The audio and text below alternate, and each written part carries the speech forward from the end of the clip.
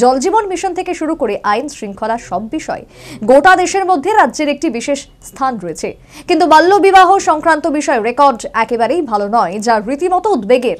সোমবার খোয়াই জেলা প্রশাসনের উদ্যোগে বাল্যবিবাহ রোধে চেষ্টা নামক প্রকল্পের উদ্বোধন করে উষ্মা প্রকাশ করলেন মুখ্যমন্ত্রী ডক্টর মানিক সাহা। খোয়াই জেলা প্রশাসনের উদ্যোগে রাজ্যে এই প্রথম বাল্য বিবাহ রোধে চেষ্টা নামক একটি প্রকল্পের সূচনা করলেন রাজ্যের মুখ্যমন্ত্রী প্রফেসর ডক্টর মানিক সাহা। সোমবার সন্ধ্যায় খোয়াই নতুন টাউন হলে এই নতুন প্রকল্প চেষ্টার উদ্বোধনী অনুষ্ঠানে মুখ্যমন্ত্রী প্রফেসর ডক্টর মানিক সাহা বলেন, দেশের প্রধানমন্ত্রীর প্রচেষ্টায় দেশ যখন দ্রুত এগিয়ে যাচ্ছে বিকাশের পথে, ঠিক সেই সময় আমাদের রাজ্যে বাল্য বিবাহ মাথা চাড়া দিয়ে উঠছে। এখানে একটু আগে শপথ নেওয়া হয়েছে। এবং এই শপথ যেন শপথেই না থাকে। আমরা অনেক সময় অনেক কিছু বলি, তারপর কিন্তু ভুলে যাই। কারণ যে বিষয়টা নিয়ে আজকের এখানে আলোচনা, খুব গুরুত্বপূর্ণ বিষয়। এবং ত্রিপুরাতে আমি বহু প্রান্তে আমি যাই। আমি দেখেছি এখানে অন্যান্য প্যারামিটারে আমরা বলি যে ত্রিপুরা খুব ভালো করছে। সেটা জল জীবন মিশনের আওতায় হোক প্রধানমন্ত্রী আবাস যোজনায় হোক, আয়ুষ্মান ভারতই হোক, কার্ডের যে সব বিষয়ে আমরা বলি, ত্রিপুরা অনেক উপরে আইন শৃঙ্খলার বিষয়ই হোক, সব বিষয়ে আমরা ভালো। কিন্তু এটাও কিন্তু আমরা সব দিকে উচ্চ, উপরে আছি, কিন্তু এটা কিন্তু ভালো না। ত্রিপুরার যে এখন এই চাইল্ড ম্যারেজ, সেই ম্যারেজের আমরা কিন্তু অনেক উপরে, শীর্ষস্থানে আমরা রয়েছে এখন সারা ভারত। বলেন, বাল্যবিবাহ একটা সামাজিক ব্যাধি। এই ব্যাধিকে রাজ্য থেকে চিরতরে বন্ধ করার জন্য খোয়াই জেলা প্রশাসন একটি ভালো প্রকল্প তুলে ধরেছেন গোটা রাজ্যের মধ্যে। মুখ্যমন্ত্রী বলেন, খোয়াই জেলা শাসকের তৈরি এই নতুন প্রকল্প চেষ্টা সারা রাজ্যের অন্যান্য জেলাগুলিতে করার জন্য তিনি সমস্ত জেলা শাসকদের নির্দেশ দেবেন।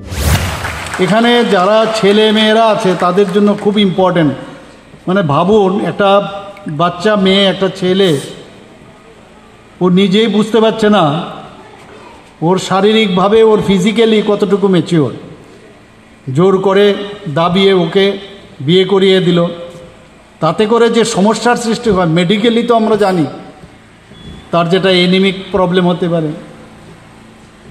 বিশেষ করে তার যখন কনসিভ করবে কনসিভ করার পরে সে ঠিকভাবে নিউট্রিশন দিতে পারবে কি না বাচ্চাকে, কারণ নিজেই নিউট্রিশনের জন্য বসে আছে, সে মেচিউরই না, সে কি করে?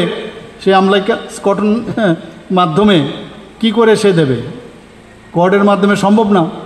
তো এই যে বিষয় এবং যখনই বাচ্চা যখন হয়, দেখা যায় খুব মানে যে সময়ে হওয়ার কথা তার আগেই হচ্ছে, বা দৌড়ে ডাক্তারবাবুর কাছে যেতে হয় এবং ফুললি বিকশিত হয় না ওই বাচ্চা। এবং বাল্যবিবাহ রোধে এই প্রকল্প কীভাবে কাজ করবে তার একটি ডেমনস্ট্রেশন ভিডিও প্রকাশ করা হয় অনুষ্ঠান মঞ্চে। এই অনুষ্ঠানে এদিন মুখ্যমন্ত্রী ছাড়াও উপস্থিত ছিলেন মন্ত্রী বিকাশ দেব বর্মা, বিধায়ক পিনাকি দাস চৌধুরী, খোয়াই জেলা শাসক চাঁদনী চন্দ্রন থেকে শুরু করে জেলা পুলিশ সুপার রমেশ কুমার যাদব সহ অন্যান্যরা। অনুষ্ঠানে বিভিন্ন বিদ্যালয় থেকে কয়েক শতাধিক পড়ুয়া, কিশোরী তাদের শিক্ষক, শিক্ষিকাদের সঙ্গে উপস্থিত ছিলেন। এদিন খোয়াইয়ের ধলাবিলে মুখ্যমন্ত্রী খোয়াই জেলা প্রশাসন আধিকারিকদের সরকারি আবাস গৃহের ভিত্তিপ্রস্তর স্থাপন শিলান্যাস ও ভূমি পুজোয় অংশগ্রহণ করেন। প্রায় ছ কোটি টাকা ব্যয়ে এই সরকারি আবাস গৃহটি নির্মাণ করেছে তেলিয়ামোড়া গ্রাম উন্নয়ন দপ্তর। খোয়াই সফরে এদিন মুখ্যমন্ত্রী খোয়াই জেলা ভিত্তিক সরস মেলার উদ্বোধন করেন। খোয়াই সরকারি দ্বাদশ শ্রেণির বালক বিদ্যালয়ে মাঠে অনুষ্ঠিত এই অনুষ্ঠানে মুখ্যমন্ত্রী ছাড়াও মন্ত্রী বিকাশ দেব বর্মা বিধায়ক পিনাকি দাস চৌধুরী জেলা সভাধিপতি জয়দেব দেব বর্মা জেলা পরিষদের সদস্য সুব্রত মজুমদার, জেলা শাসক চাঁদনী চন্দ্রন উপস্থিত ছিলেন। অনুষ্ঠানে বক্তব্য রাখতে গিয়ে মুখ্যমন্ত্রী, প্রধানমন্ত্রীর ভোকাল ফর লোকালের উপর জোর দেন। সেই সাথে ঘর সামলানোর সাথে সাথে স্বাবলম্বী হওয়ার আহ্বান জানান। নিজেরা ভোকাল ফর লোকাল যেটা মাননীয় প্রধানমন্ত্রীজি বলছেন যে আত্মনির্ভর হতে হবে আমাদের। এবং আমরা নিজেরাই কিন্তু জানি না আমার মধ্যে কী পটেন্সিয়াল আছে।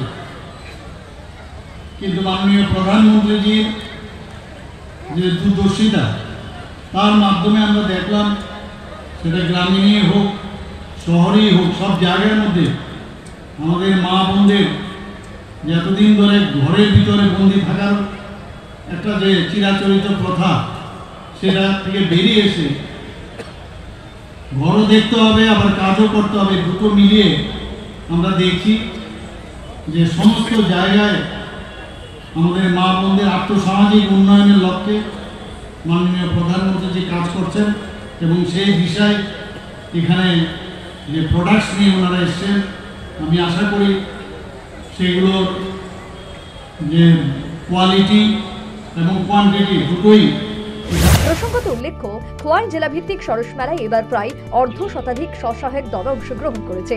আগামী আঠাশ ফেব্রুয়ারি এই সরস মেলার সমাপ্তি ঘটবে। Bureau report, news